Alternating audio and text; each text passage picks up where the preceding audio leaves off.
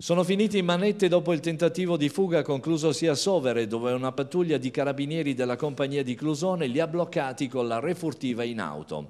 È andato così a vuoto il colpo di due malviventi, 40 e 32 anni, provenienti dalla provincia di Verona. Ad allertare le forze dell'ordine la titolare di un ristorante di Piazza della Rocca, che insospettita dal comportamento dei due, che una volta rotto il finestrino della Mercedes di proprietà di un rappresentante di gioielli, si erano appropriati di due valigette contenenti i valori.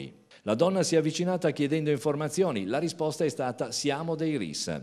Non credendo all'affermazione ha immediatamente contattato la centrale operativa di Clusone.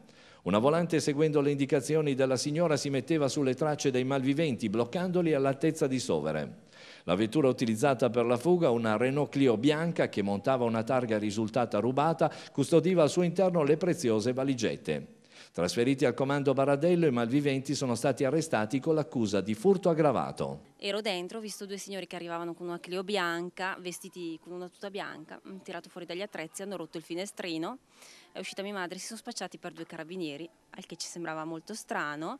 Siamo entrati, abbiamo preso il numero di targa, abbiamo telefonato, abbiamo fatto la denuncia ai carabinieri. L'hanno proprio demolito, hanno tentato di aprire il cofano, non sono riusciti, allora hanno spaccato il finestrino. Hanno tolto due valigette, sì sembrava una 24 ore un'altra, una cosa un po' più consistente. Arrivano due carabinieri, dicono che sono degli artificieri, sembra strana la cosa, anche perché gli artificieri almeno delimitano lo zona, comunque hanno una divisa, un cartellino, qualcosa.